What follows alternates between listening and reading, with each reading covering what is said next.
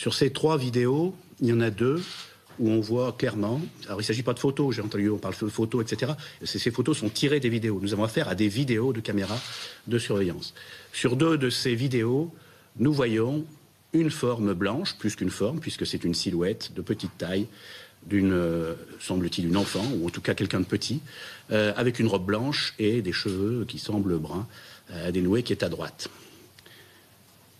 Le véhicule, qui est une Audi A3, comme celle de Nordal-Lelandais, est euh, corrélée avec celui-ci par un certain nombre d'éléments, euh, d'autocollants, euh, d'éléments concernant les jantes, concernant telle ou telle chose, ce qui nous permet de penser, nous, qu'il s'agit du véhicule de Nordal-Lelandais.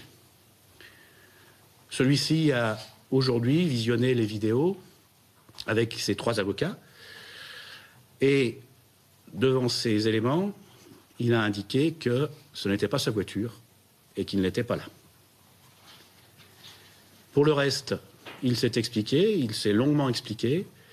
C'est un homme qui s'exprime calmement, avec beaucoup de sang-froid, et qui a maintenu toutes ses dénégations et a donné des explications qui sont ce qu'elles sont.